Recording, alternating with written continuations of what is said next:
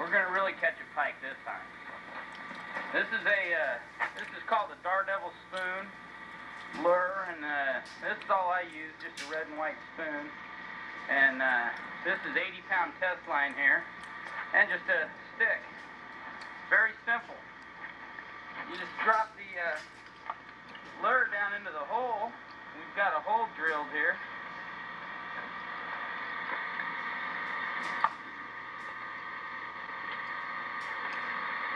And I usually go down about, oh, maybe seven feet down.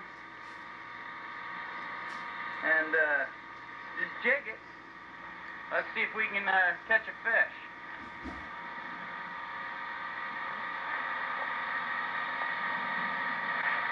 Oh, Yeah, that's a beauty. Look at that. We need a nice one. There we go.